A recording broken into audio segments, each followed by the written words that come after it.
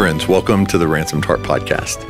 I'm Allen Arnold, and I hope as you hear this that you are healthy. I hope that you are navigating these uncertain times with a sense of peace that can only come from God. And we are going today to enter into the conclusion of our series on expecting the wonderful.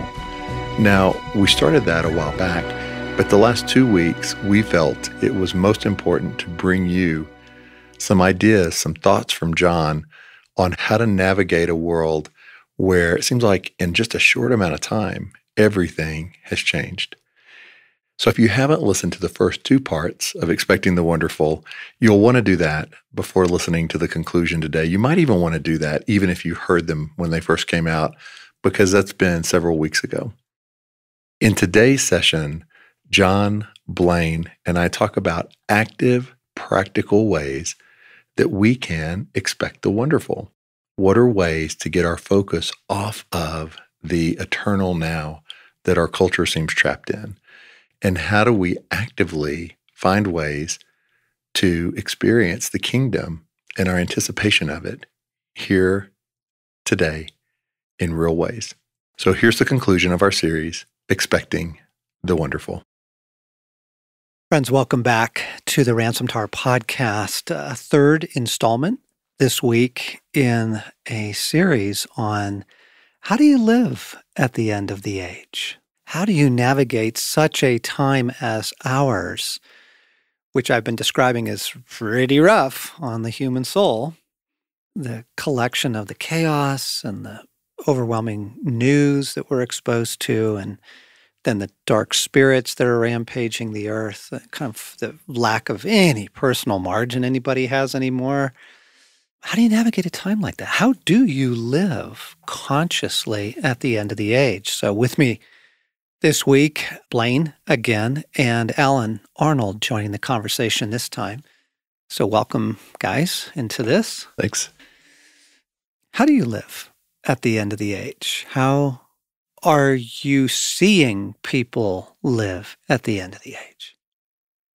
Well, my observation of people, and too often myself, is this gravitational pull toward life is hard.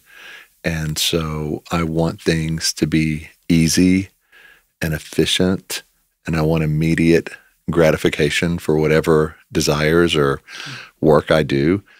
You know, I see a lot of offense and rage whether it's when you're driving home on the interstate or in politics or whatever it may be. Just this sense of, I've got to get whatever I'm going to get now. And so, the end of the age, I think the feeling is time is short, but it doesn't tend to create a hope for the future, but more of an immediate panic and urgency for the now. Mm. Yeah, that's right on, Allen. I think it is appropriate right now that as we're recording this podcast, the fear turbines are at full speed relative to global pandemics, the coronavirus. Yes. My goodness. We are in an election year, which just those two things together show me how situated in the right now I am. All of these are immediate existential threats to a fragile happiness. Oh, wouldn't it be wonderful if these things were actually signs of the return of Jesus? Not that you would celebrate them, but that you could see them in mm. context of mm-hmm. if this meant we were that much closer to Jesus coming back, how wonderful. The only solution to mortality. Right? And to every other heartache in the world. Yeah. Yeah. How do you live at the end of the age, friends? Well, the first question is how are you living at the end of the age? I mean, just to be honest, kind of take a quick look at is it mostly kind of that combination of hunker down, mm-hmm. survival mode, you know, just sort of always on your guard, and then get what you can, get a little bit of joy in, you know, drink a little bit too much, eat a little bit too much, binge watch your shows, you know, right. plan that next trip, daydream, daydream in very appropriate ways, daydream in some inappropriate ways. You see that? Like that hunker down in fear and then try and get a little bit of joy. And it does feel fragile. Psalm 1 is where I've been hanging out because I'm just so intrigued by those folks who are like trees planted by a riverbank whose leaf never withers. I'm like, oh gosh, I want that. Mm. I want that. And the folks who are completely taken out by the world, they are described as chaff. That the next breeze blows away, that the next piece of bad news, the next turn of events. I don't think that that is what God has for us. I think that He has wonderful things for us, even at the end of the age. I think we are meant to be those trees. So, as we've been unpacking in the first two installments in this conversation, how do you live at the end of the age? Well, among a number of things, you live expecting the wonderful, not expecting doom and disaster.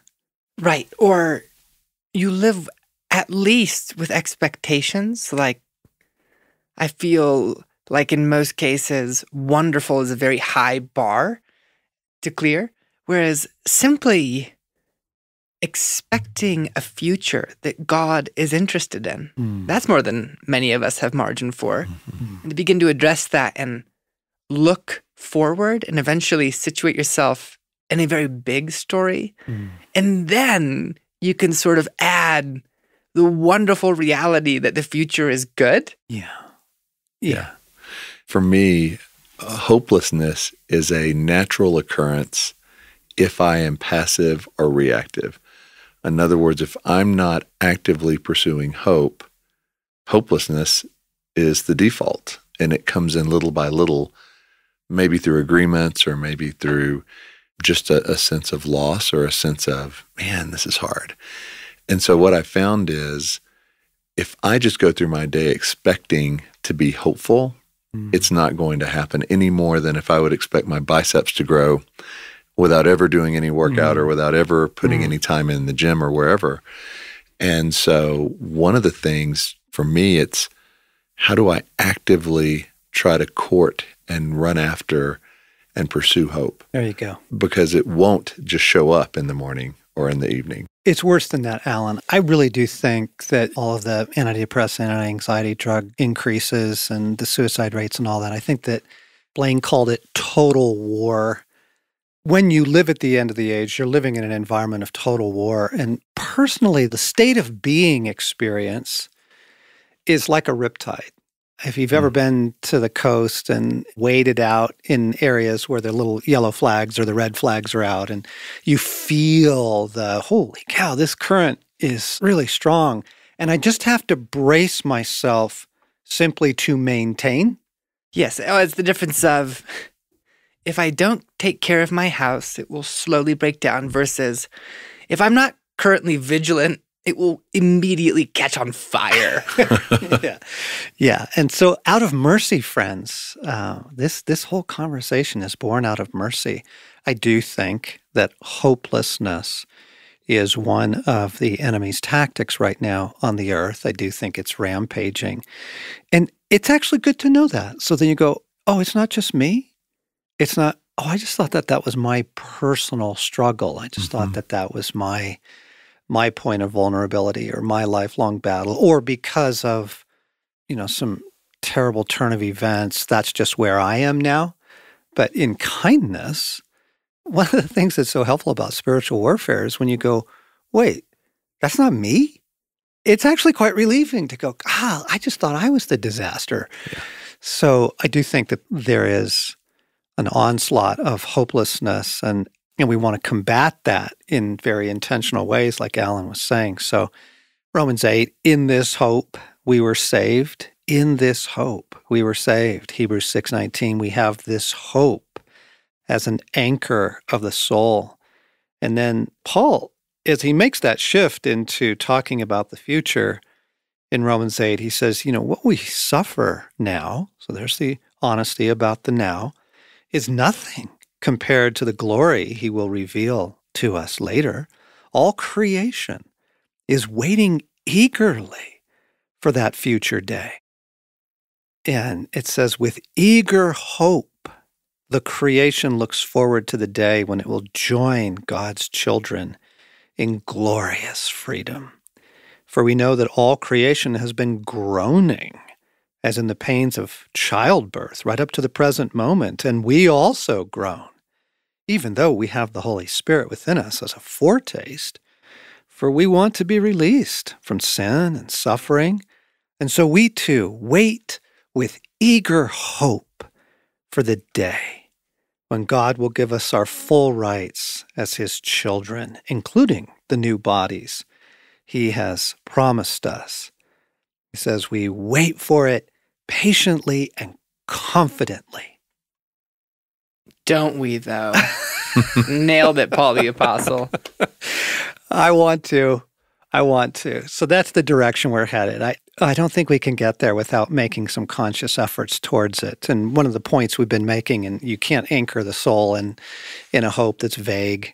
But what I also wanted to say this week is you can't anchor the soul, you can't combat the dark force of hopelessness on the earth right now with something that is vague or something that is weird. So, can I just say, all weirdness has to go. Hmm. Anything you've been told, taught, read, heard, heard in a song, maybe heard in a worship song that's weird, it's got to go because that will not combat hopelessness. You know, oh, I just can't wait to dance on the streets of gold. Because that's just weird. It's just weird. Come on, that's just weird. Uh, that's not helpful. Yes. Right. There's a current worship song that, it must be said, I actually really like. But there are a few lines in it that are about the beauty of Jesus that when I stopped and considered them, were like that, where it's, you know, we know your eyes are like flames of fire. We know your hair is hair is white like as wool. snow. Okay. White as wool? Yeah. It's never snow in the Bible. There is hail. Jesus, you're beautiful. And I went, wow. Well, form and content. The form is telling me about the beauty of Jesus because this is a beautiful song. Yeah. But it's like we know that in Daniel chapter 7, they use the image of white wool to display the dazzling radiance of God, but your hair is really not white because that would be weird.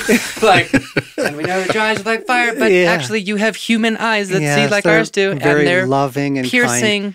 Well, okay, so can we just quick footnote the book of Revelation is apocalyptic literature. Okay, so no, his hair is not white as wool.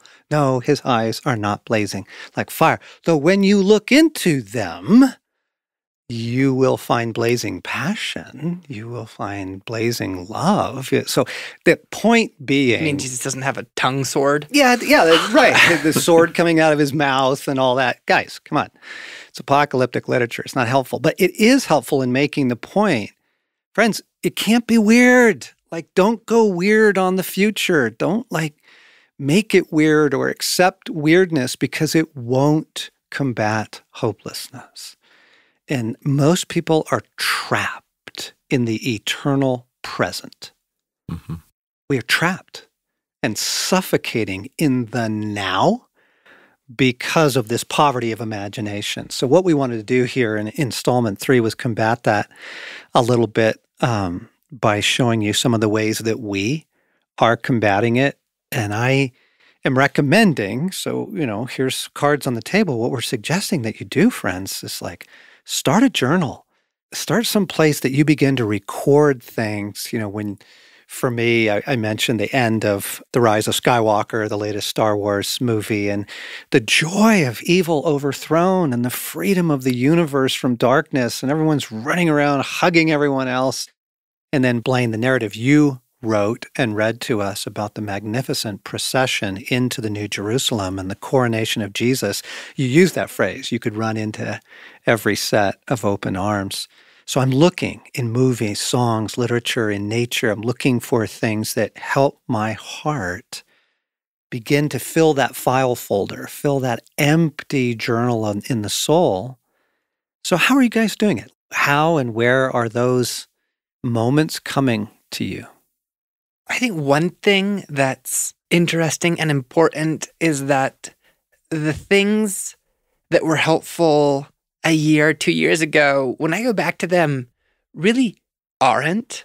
And sort of to name that the ongoing practice of expectancy here, just to go, wow, mine are very fresh. And a year ago, it would be, the trailer two years ago be the trailer to the second planet Earth and the score. I could listen to the music on its own. Yes. And right now, some funny ones that have surprised me of sudden expectation and hope in the restoration of all things would be Kanye West's Jesus is King album. Actually, a lot of Kanye West's album. Kanye, if you're out there. And marching band music. And the reason why You mean like Yes, exactly. Okay. Seriously, So marching band music. marching band music. Okay, stay with us, folks. This is going somewhere good because I know my son, but you, you got to get us there. Well, first of all, uh, it, we're not talking that tune that you just hummed, stirring though it was.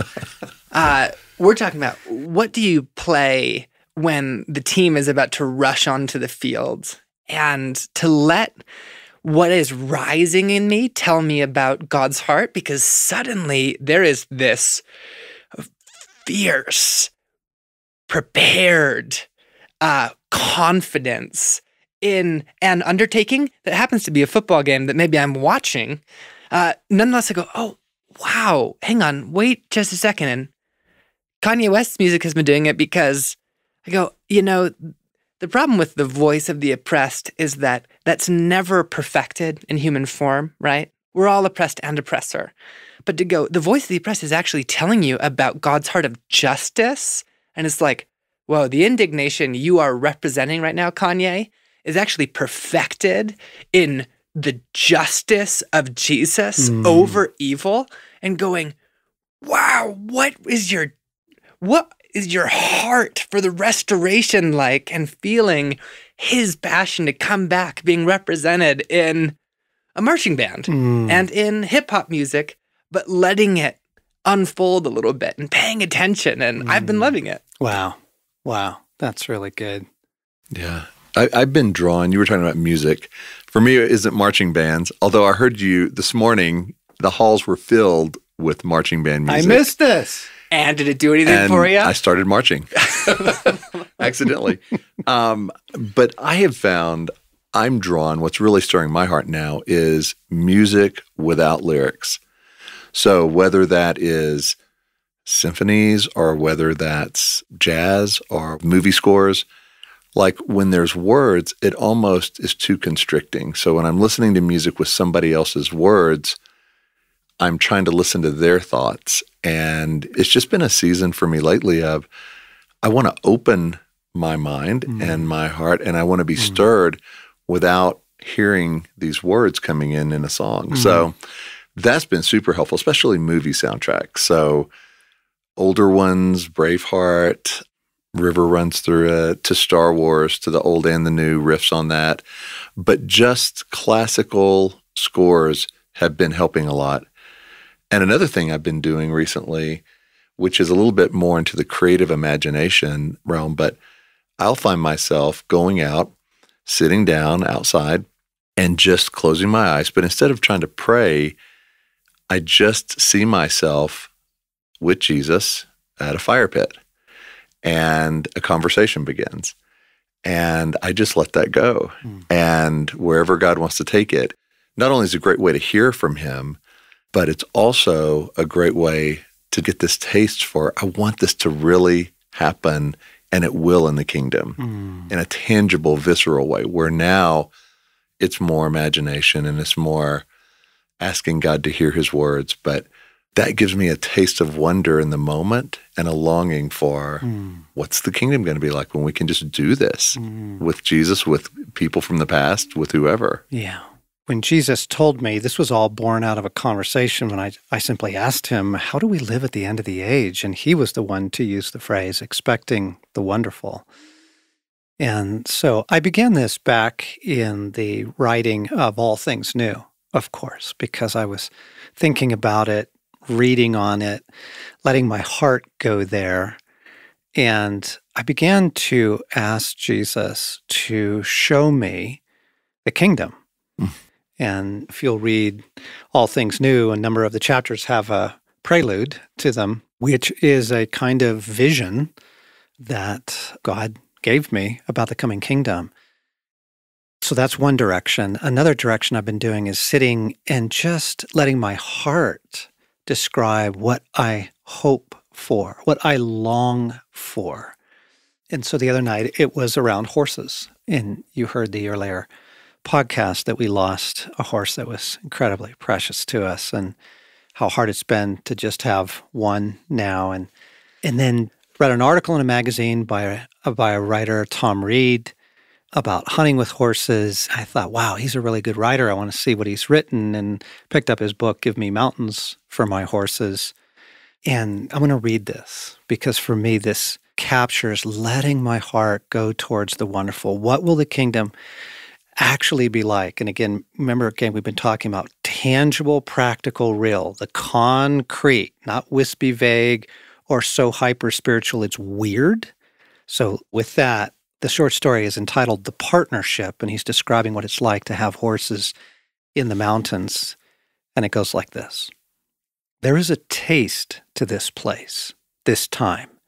Nothing is behind you, everything is ahead. But you don't really think about what is ahead, you only think of now. For this partnership you have entered into is one of the moment of now. Now has you in a saddle on a bay horse, heading up a trail of pines and spruce and mountain, of stream and meadow. Behind you, connected by only your hand and a lead rope, but carrying everything important to you, is another bay horse, an almost identical match to the one you are riding. You call them nicknames as if they were human compadres, drinking buddies. You cluck and coo and talk to them they are stepping out, heads nodding, down the trail and through the stream, and all you have to do is ride. So you ride. That evening, you make camp. It is a good place with room for the horses in the broad, deep green meadow, and camp back against the lodge poles, and your kitchen down a ways. So you ease off the bay's back and stretch your muscles with that stiff, good, worked hard feeling and you begin to unload the pack horse, talking to him, thanking him. In a while, he has on the hobbles and is out there with his buddy, snorting contentedly in the tall grass and swishing a long coal black tail. The tent goes up quickly, and a meal down on the gravel bar. There's the sound of a nighthawk chirping and pealing through the dimming sky, and all is well with the world.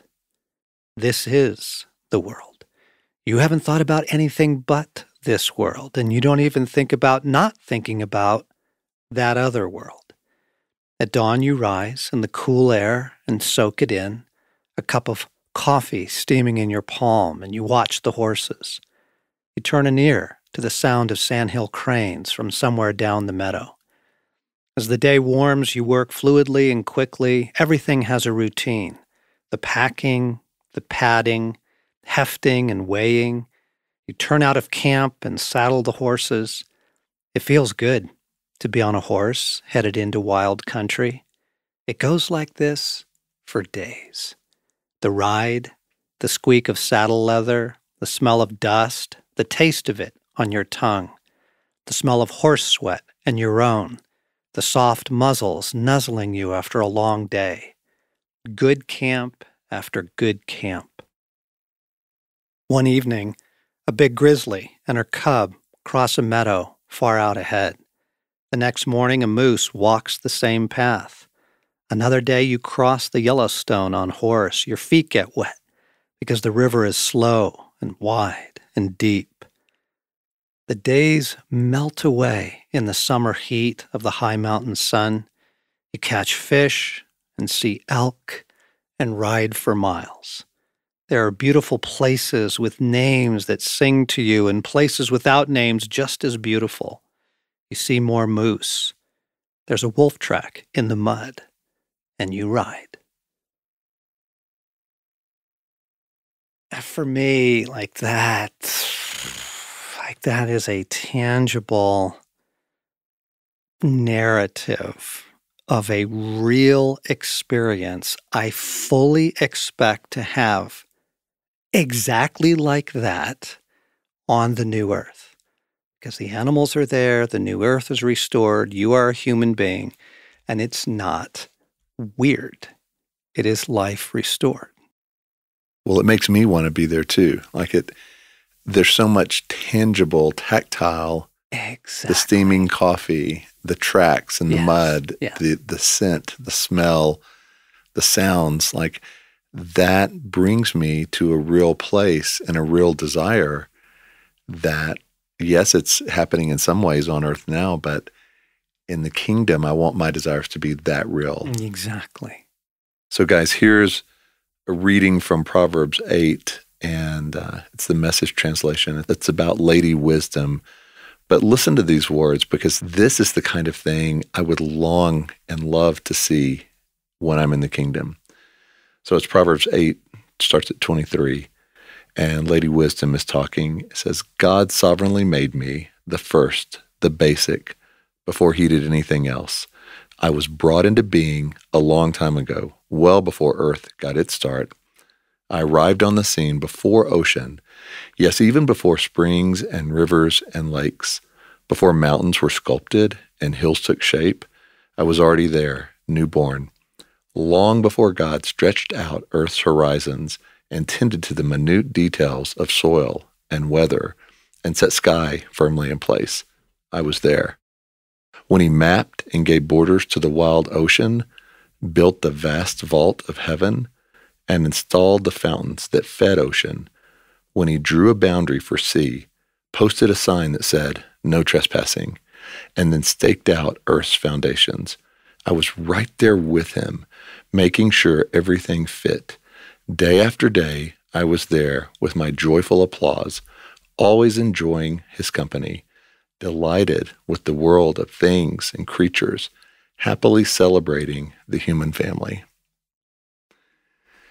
Oh, see, what that opens for me is what we were talking about last time of there's so much of God's world that we don't know. Yes. And because it all got broke, we won't have a chance to know now. Mm-hmm. But to think about knowing it Right, and exploring it, right. to go back and see it and see its wonders and see its mysteries and explore the intimate as well as exploring the epic. Right. Like you said, to not just read it and go, wow, that must have been cool, but to say, I get to see that one day. I get to be a part of that one day. There's going to be new creations in the new kingdom and in the coming kingdom, and, and we get to be a part of that and not just observe it, but mm. to dance in it and enjoy his company and to watch it and to mm. be part of it. That's breathtaking to me. Mm. Yeah, it sparks another one for me when it comes to what are the kinds of things that God enjoys doing that we can anticipate being a part of. One of my favorite sections anywhere is final chapters of Job and God's response and some of the things that he says he's up to are wild and concrete but different. For example, have you journeyed to the springs of the sea or walked in the recesses of the deep? Have you seen the gates of deepest darkness? Have you comprehended the vast expanses of the earth? What is the way to the abode of light? Where does darkness reside? Can you take them to their places? Do you know the paths to their dwellings? Mm. Have you entered the storehouses of snow or seen the storehouses of hail, which I reserve for times of trouble? What is the way to the place where lightning is dispersed, or where the east winds are scattered over the earth? He goes on. Yeah. You go, "Ah, that all sounds great to me. I want to see that. I want to, the Yeah. abode of yeah. light. I mean, this Yeah. is Yeah. requires us to consent with our imagination. But as soon as we do, it's kind of like, oh, that isn't wispy. That's like a thing that you are up to and that we could go with you. And Yes. Combining those two, it reminds me of that beautiful part of MacDonald's, George MacDonald's line. He's envisioning our creativity in the coming new earth when we have creative powers that the sons and daughters of God were meant to have before the brokenness got in, and then some, right? Right. St. Peter walked on the water, as Lewis points Yes. out. And one day we will have a creation that is infinitely obedient to the sons and daughters of God. MacDonald goes, When we are in our home, our natal home, and from your love and peace no heart will roam, what if thou will make us able to create like thee, to paint golden sunsets, right? To hang yellow moons over a rose and purple sea, like the powerful creativity of the new creation in us in it.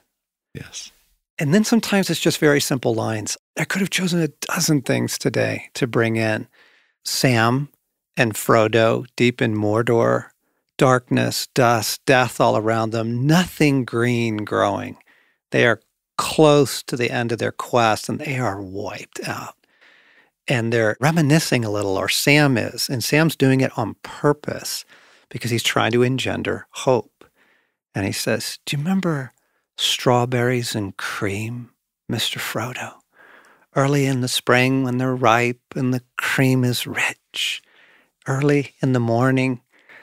Just like that, Yes. just lines like that will do us like, oh, strawberries and cream in the kingdom, right? And the richness of that, or at the end of the end of Lewis's first novel in the space trilogy, Out of the Silent Planet, the character has been taken hostage and taken into outer space, and he's finally made it back to Earth against all all odds. And and his flight back to the Earth through space is a very cold and bleak and difficult thing. And the spaceship crash lands, and he gets out. Remember where this is going? I'm with you. Oh, it's so good because the first thing it's rain.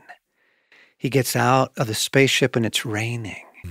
And he hasn't felt rain on his body for months and months and months of his captivity in the weird. Okay. And so he's letting the rain just soak him and soak his clothes as he's walking across this field and he sees a light and he sees a village ahead. And you would think that a, a person who has just gotten back from something fantastic like that would look for the police or the press or, you know, the governor or, I have phone. yeah, Call somebody. Yeah, I'm back. I'm okay. But instead, it's beautiful. He finds this village. He's walking in the rain through this meadow and he's being washed.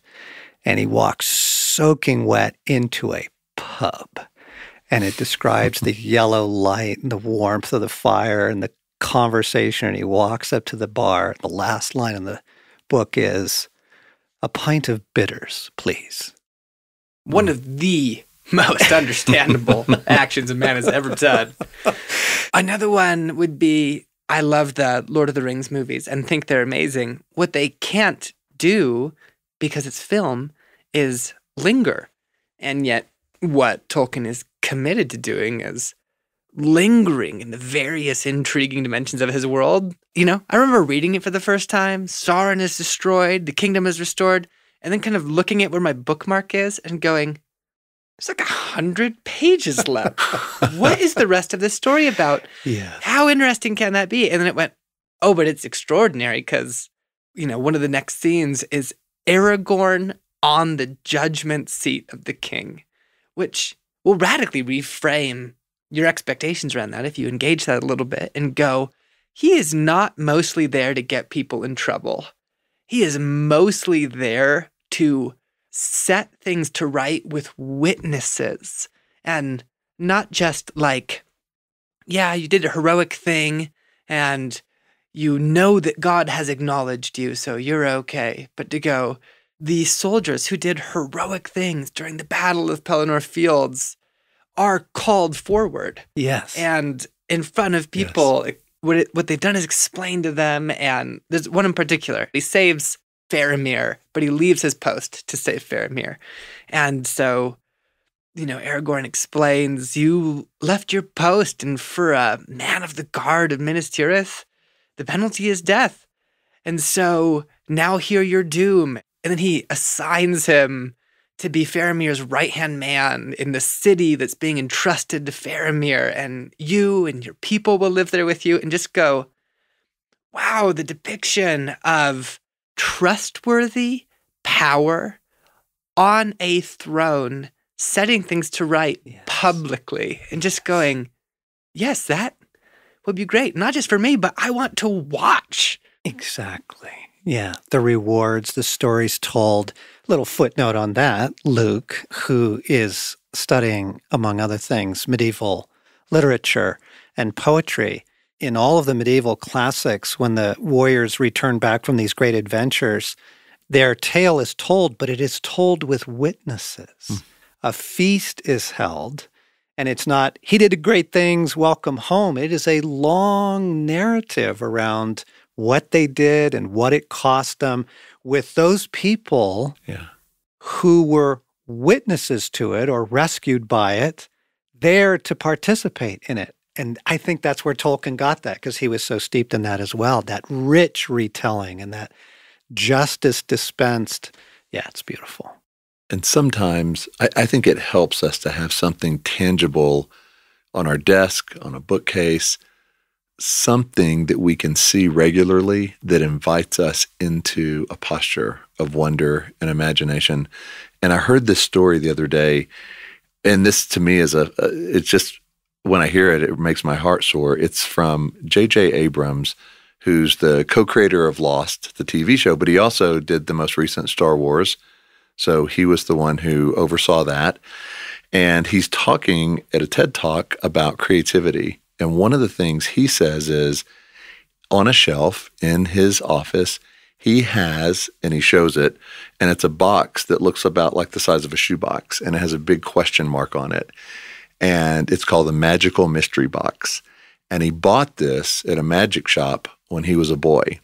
And it was supposed to be filled with like dozens of unexpected wild things. And he's never opened it. So he, since he's since boyhood, he's had this. And what he said is, for me, the sense of wonder and infinite possibility is what this represents. Mm. And so I want to keep it on the shelf to draw me to wonder and to imagination and creativity. And for him, actually opening that box, he would see it, be done with it, and it would have long been forgotten. But it made me think, well, okay, what is it in my life that I have mm. somewhere that regularly reminds me step into wonder and mystery? And I don't have to have all the answers, but I have to have the desire mm. to wonder. Mm. So, friends, here's our counsel start thinking about this. Start wondering. Start filling those empty file folders in the soul.